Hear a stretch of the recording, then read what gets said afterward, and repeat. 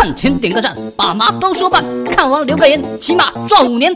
哎，我不知道你们有没有遇到过这种情况，选英雄的时候觉得来得及，就去上了个厕所，结果一回来，哎呀妈呀，系统都帮你选好了，两个法师，这下坑爹了，还是王者二十星的排位赛，但是，呵呵，就是这个阴差阳错，今天我就顺便带大家了解一下这个打野诸葛亮。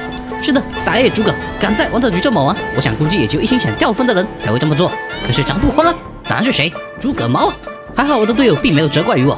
如果换作是我碰到这种乱来的队友，我可能心态就已经崩溃了。话说，当大家碰到这种乱选英雄的队友的时候，你们会怎么做？顺便说一下，诸葛打野是可以的，但是前期必须要有辅助的帮忙，不然等你刷野关，黄花菜都凉了。不管是打野诸葛还是中单诸葛，大家都要注意一点，那就是怂。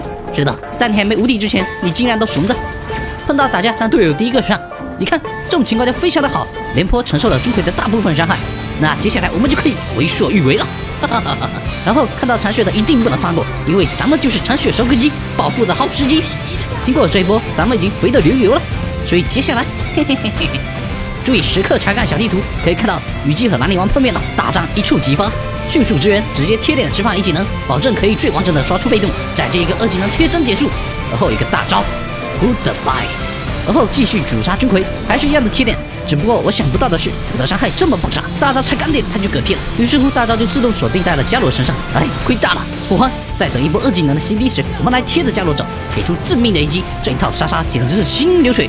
阵容虽然奇葩，但是咱的实力并不弱。打野诸葛的出装其实跟平时都差不多，打野刀、鞋子、吸血书、极寒风暴、虚无法杖、辉月等等。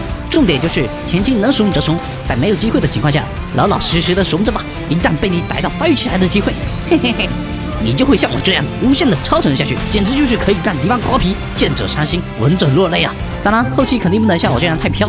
这里我明明是有机会逃跑的，可是我觉得我能打五个，不，我能打十个，然后就直接嗝屁了。重点是差一丢丢，差一丢丢就被一波了，简直就是少有不胜，满盘皆输了。